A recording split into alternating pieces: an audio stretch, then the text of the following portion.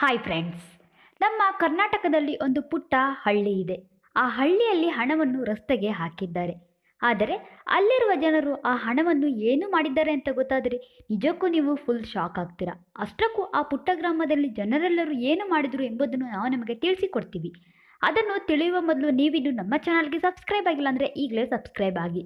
ಹಾಗೂ ಪಕ್ಕದಲ್ಲಿರುವ ಬೆಲ್ ಬಟನ್ನ ಮೇಲೆ ಕ್ಲಿಕ್ ಮಾಡಿ. ದಿನದಿಂದ ದಿನಕ್ಕೆ ನಮ್ಮ ಭಾರತದಲ್ಲಿ ಕೊರೋನಾ ವೈರಸ್ನ ತೀವ್ರತೆ ಜಾಸ್ತಿ ಆಗ್ತಾ ಇದೆ. ಆದ ಕಾರಣ ಜನರು ಯಾರು ಕೂಡ ಮನೆಯಿಂದ ಹೊರಗೆ ಬರ್ತಿಲ್ಲ.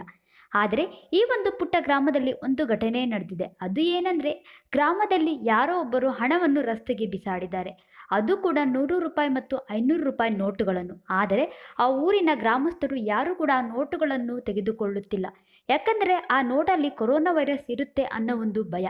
ಹಾಗೂ ಆ ನೋಟುಗಳನ್ನು ಕೈಯಲ್ಲಿ ಮುಟ್ಟದೆ ಬೆಂಕಿಯನ್ನು ಹಚ್ಚಿದರು. ಸೊ ನೋಡಿದ್ರಲ್ಲ, ಮುಂದೊಂದು ದಿನ ಕೊರೋನಾ ವೈರಸ್ ಜಾಸ್ತಿ ಆದರೆ ನಮ್ಮ ಒಂದು ಭಾರತ ಸ್ಮಶಾನದ ಥರ ಆಗಬಹುದು. ಆದಷ್ಟು ನೀವು ಇದಕ್ಕಾಗಿ ಮನೆಯಲ್ಲೇ ಇರಿ. ಹಾಗೂ ಸರ್ಕಾರ ತೆಗೆದುಕೊಳ್ಳುವ ಎಲ್ಲ ನಿರ್ಧಾರಗಳನ್ನು ಪಾಲಿಸಿ.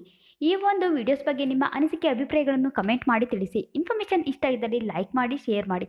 ಮತ್ತಷ್ಟು ಇಂಟ್ರೆಸ್ಟಿಂಗ್ ಅಪ್ಲೋಡ್ಸ್ಗಳಿಗಾಗಿ ನಮ್ಮ ಯೂಟ್ಯೂಬ್ ಚಾನಲ್ ಸಬ್ಸ್ಕ್ರೈಬ್ ಮಾಡಿ. Finally thanks for watching friends